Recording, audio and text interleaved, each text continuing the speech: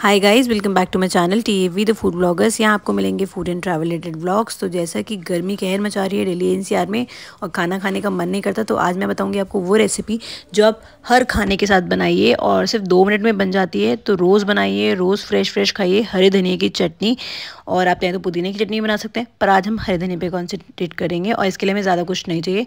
धनिया होना चाहिए फ्रेश कटा हुआ, बारीक कटा हुआ और इसमें हम लाल मिर्च नहीं डालेंगे क्योंकि गर्मियों में लाल मिर्च जलन करती है। तो हम इसमें डालेंगे दो हरी मिर्च, क्योंकि हरी मिर्च चटपटी थी।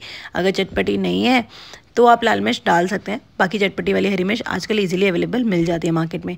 फिर मैं डालूँगी टमाटर। अगर देसी टमाटर है तो एक बहुत है। और अगर नहीं है तो दो टमाटर डालिए। और फिर इसमें थोड़ा सा नींबू डालिए। आधा नींबू बहुत है, क्योंकि टमाटर भी तो खट्टे होते हैं ना।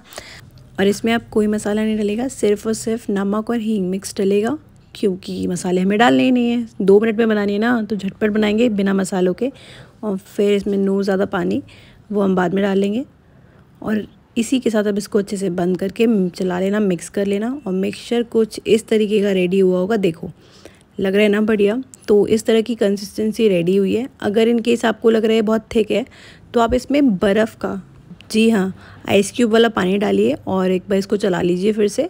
और मेरे को ये कंसिस्टेंसी बिल्कुल सही लग रही थी तो मैं कर लेती हूँ इसको ट्रांसफ़र अच्छे से। अगर आप लोगों को पतला लगता है तो आप कर लीजिएगा। तो बस देखो यार अच्छा लग रहा है ना?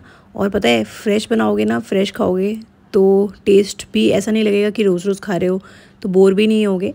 तो रोज़ बनाओ और रोज़ खाओ और इन्जॉय करो ये रेसिपी जल्दी से बन जाती है यार।